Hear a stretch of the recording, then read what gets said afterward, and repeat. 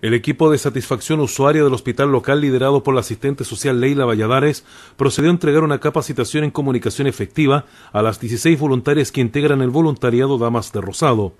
El profesional de trabajo social Johnny Sepúlveda tuvo a cargo la exposición que permitió conocer los conceptos básicos, elementos y obstáculos del proceso de comunicación, como asimismo identificar, comprender y aplicar las técnicas de la comunicación eficaz. La capacitación también permitió reconocer las modalidades de comunicación propia e identificar situaciones de dificultad, al igual que desarrollar y reforzar habilidades para una eficacia en las relaciones interpersonales y laborales.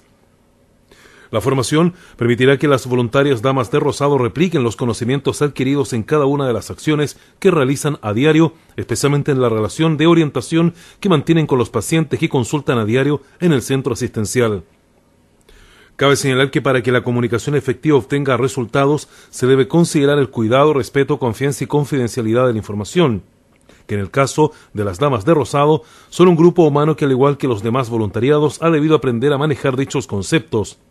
La actividad también contempló dinámicas grupales y grupos de trabajo de manera de ir proyectando de inmediato entre sus pares la capacitación entregada.